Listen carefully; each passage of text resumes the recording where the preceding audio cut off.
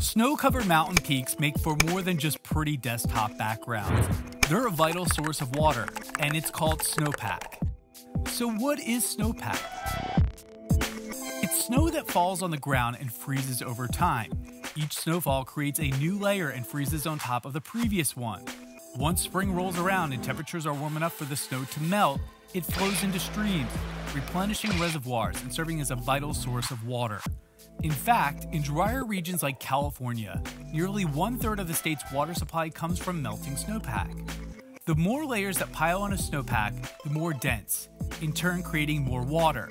Snowpacks are also a good way to measure snow density when you're skiing. The less dense the snowpack, the better the snow is for skiing. But as climate change warms temperatures around the world, some snowpack sites are shrinking. Since 1955, on average, snowpack sites on the West Coast have seen a 23% decline.